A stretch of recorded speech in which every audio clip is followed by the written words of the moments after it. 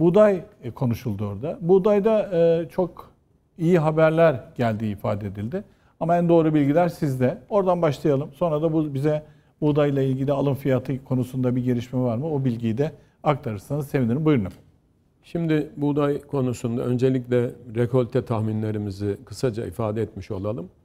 Geçtiğimiz yıl 19.75 milyon ton gibi yuvarlak rakam 20 milyon tonluk bir üretim varken bu yıl 21 milyon ton gibi bir üretimi rekolte olarak bekliyoruz. Yani rekoltemiz yüksek. Ki geçtiğimiz yıl biliyorsunuz yine yağışlar oldukça iyiydi. Doğru. Bu sene yağışlar konusunda başlangıcı Ekim, e, Şubat döneminde sıkıntılı oldu.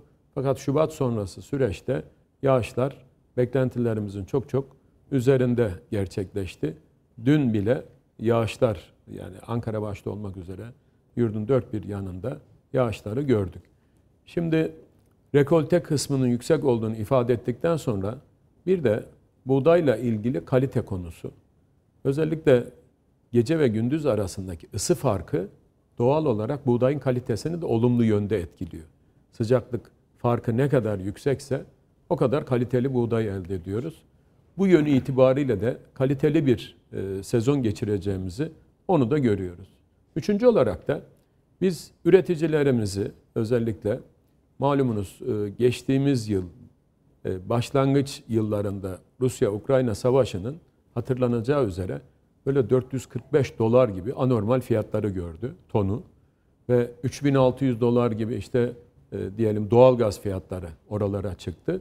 Hepimiz panikledik ne oluyoruz diye ama çok şükür tahıl koridoru diye bir girişim başlattı Sayın Cumhurbaşkanımız ve bu da olumlu neticelendi. Son olarak da iki ay daha uzatıldı malumunuz. Geçtiğimiz günlerde Cumhurbaşkanımız bunu da açıkladı. Şimdi e, tabii ki e, Türkiye yani neticede dışarıyla da içerinin arasında bir ilişki kurmamız gerekiyor. Şu anda da buğday fiyatları, ton fiyatları 250-260 dolarlara kadar geriledi. Bizim elbette bu fiyatlardan üreticimize bir müdahale fiyatı açıklıyor olmamız onları mutlu etmez, memnun etmez. Biz mutlaka ve mutlaka üreticilerimizin bütün maliyetlerini, mazot, gübre, ilaç, tohum, tarla kirası, bunları götürüp koyacakları deponun amortismanı, aklınıza gelebilecek o maliyet unsurları nelerse bunları birer birer çıkaracağız ve bu çıkarılmış olan fiyatla e, fiyatın üzerine bir de kendilerini e, mutlu edecek bir gelir kısmını koyacağız. Çünkü neticede gelecek yılda buğday üretmesini isteyeceğiz. Üreticimizin tamam. mutlaka bir refah payını da bu manada koymamız gerekiyor. Elbette ülkede enflasyon var. Enflasyonun etkisini dikkate alacağız. Dolayısıyla böyle bir çalışmayı yapacağız. Geçtiğimiz yıl biz 5 Haziran'da açıkladık. Yağışlar da bu kadar sarkmamıştı. Yani dün itibariyle bile yağış vardı. Muhtemelen bugün de yurdun belirli yerlerinde yağış oldu. Şimdi devamında şunu yaptık biz Celal Bey. Yani e, bu fiyatları açıklamadan önce. Ya yurt dışında fiyatlar bu kadar düştü. İçeride de buğday fiyatları e, düşerek üreticilerimiz zarar görmesinler diye sıfır olan ithalattaki gümrük vergisini yüzde 130'a çıkardık. Sıfır olan vergiyi 130'a çıkardık. Dolayısıyla da içeride e, üretilen ürünün alıcısı olsun. Alıcısı bunu almak durumunda kalsın. Birinci uygulamamız da bu oldu. Sonra döndük. Dahilide işleme var biliyorsunuz. Doğru. Bulgurcular var, makarnacılar var, uncular, uncular var, irmikçiler var. Onlara da dedi ki eski uygulamamız ihraç, e, önce ithalat yapın. O kullanacağınız buğdayı getirin, işleyin sonra ihracat yapın dedik. Hayır şimdi önce ihracat yapın. Tabii ki o ihracat yapmak için Önce gelecek içeriden İçerideki buğday. içeriden mal alacak. Ona evet. yönelecek. Sonra ithalat yapmak istiyorsanız yapın dedik ki ithalatta yapamamış olacak ve böylelikle de içerideki ürünle ilgili de yine bir fiyat noktasında da yükselme sağlanacak.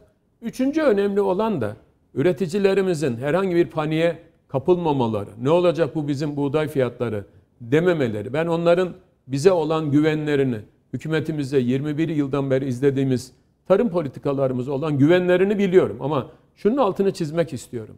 Ey üretici kardeşim, lütfen eğer ürününü bugün bile hasat etmişsen ya TMO'ya veya lisanslı depoya götür koy. Günü geldiğinde biz bu fiyatı açıkladığımızda hangisi sizin için cazipse, TMO'nun alımları sizin için cazipse TMO'ya ürününüzü getirirsiniz. Tüccarın, sanayicinin verdiği fiyat sizin için cazipse götürür onlara bu ürününüzü teslim etmiş olursunuz dedik. Böylelikle burada herhangi bir paniğe kapılmadan üreticinin ürettiği ürünün pazar değerini olabildiğince yukarı taşımak istediğimizi de ortaya koymuş olduk. Ben üreticilerimizin bize bu konuda e, güvendiklerini biliyorum. Çünkü hatırlayın yani Karadeniz'de fındık, çay, buralarda buğday, arpa tüm Türkiye'de çünkü bu yetiştiriliyor. Çeltiğin kendisi başta olmak üzere tarım ürünlerinde çok şükür üreticilerimizde bir memnuniyet oluştu ve bu da onların refahına yansıdı ve bu yıl üretim miktarındaki artışın alan olarak da artışın temel nedenlerinden birisi de geçen yılki uygulamış olduğumuz fiyat politikasıydı. Biz o fiyat politikamızı yine uygulayacağız. Yine üreticilerimizi memnun etmeye devam edeceğiz. Ama bu seçimden sonra yapacağımız bir açıklama olacak.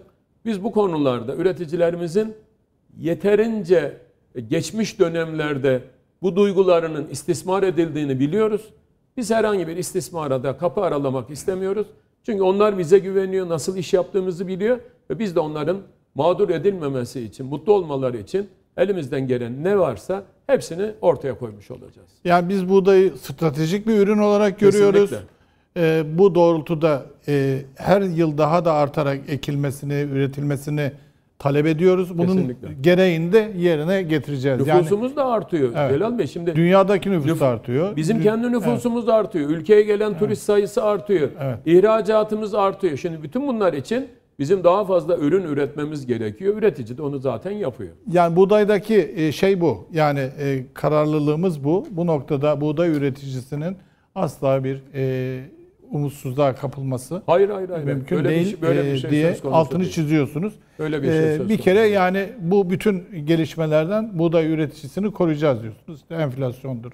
Dünya fiyatlarındaki olumsuz gelişme. Girdi fiyatlarındaki Evet. artışlar. Artıştı. Bunların hepsini tespit ettik.